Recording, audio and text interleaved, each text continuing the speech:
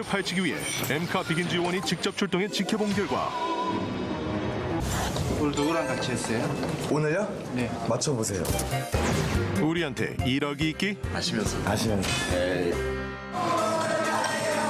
블락비와 함께 10주년 무대를 꾸밀 주인공은 바로 힙합계의 대부 다이나믹 듀오 신명나는 힙합의 장으로 만들어줄 두 팀의 만남 개별로 있지 말고 그래도 이게 선후배 그런 거니까 뭐 뭐 이렇게 좀 없는 거는 막상 조금 본방 가면은 이제 할 텐데 지금은 거죠? 뭐 리허설이랑 다 하고 있어. 갑자기 또뭐 리허설인데 뭐 이러고 있 네. 아 근데 블락비 친구들 에너지를 저희가 감당 못하겠어요. 아 멋지게 하겠습니다. 파이팅. 힙합으로 하나가 된 신구 악동들의 신나는 무대 Excellent question. 아직 끝나지 않았다 대미를 장식할 무대들이 남았으니 주목 마지막을 장식할 C법칙은 스타들의 화려한 컴백 엠카에서 최초 공개입니다. 헐. 긴장되는 첫 컴백 무대를 준비하느라 분주한 모습들인데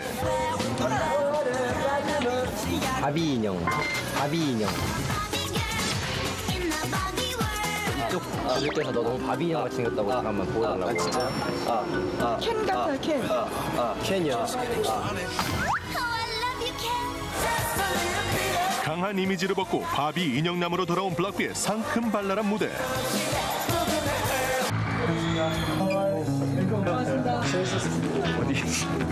안녕하세요. 여기서 지금 뭐 하는 거? 여기가 굉장히 시원하더라고요. 그래서 아, 연습 부럽네요. 굉장히 시원합니다 여기. 그래도 따라하면 안 된다는 거. M 카운트다운 10주년을 더욱 빛내줄 컴백한 세 팀의 무대. 수고하셨습니다. 고생했습니다. 요원 활약으로 뒷이야기 대방출. 이번 주도 놓치지 않고 지켜보겠어.